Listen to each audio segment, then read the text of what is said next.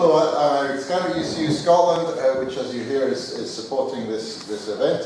First of all, I'd like to, to say thanks very much for coming, and as many of you will know, uh, UCU across the UK on a week on Monday will start on eight days continuous strike action um, about uh, the, the deflation in pay, about casualisation of a contract, about the gender pay inequality, and about workload, and in some institutions also about pensions. So eight days continuous strike action by UCU uh, across the UK. Uh, you'd be very welcome at a picket near you. There are probably universities close to where you live. Uh, do come along and support us.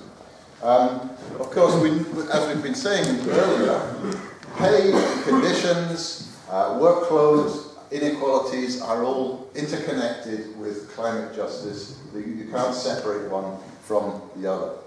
Um, UCU has been a long-standing supporter of just transition. We've always had policy in, in, in favour of just transition. We had a, we had a, a mini conference in UCU Scotland uh, last year on just transition in Robert Gordon University, a university which has very close links with the fossil fuel industry and fossil fuel corporations. In fact, we held our seminar in um, a building called the Sir Ian Wood Building, which uh, tells you something about the, uh, the, the relationship between the university and the fossil fuel sector. Now, Scotland recently produced a report on the financing of the higher education sector and pointed out that publicly funded education is publicly funded to the tune of 90% of the costs of providing that education and research to the tune of 80% of the costs. In other words,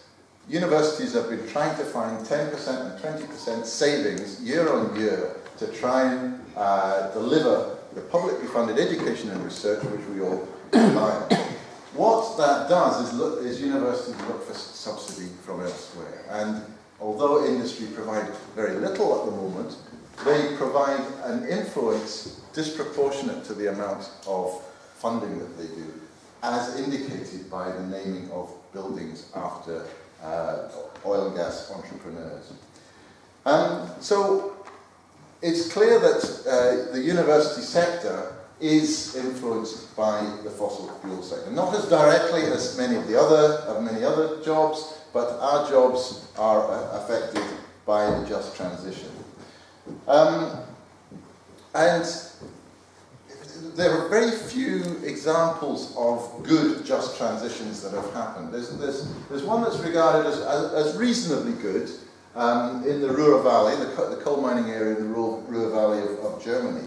And some research has been done on that, which I just want to kind of point out some of the, the main highlights of.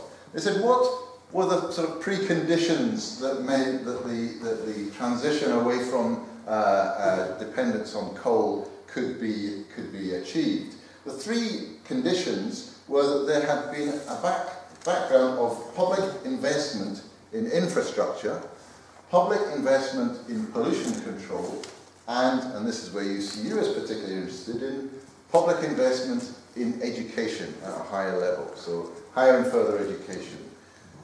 We are part of the sector that needs uh, to be part of that just transition.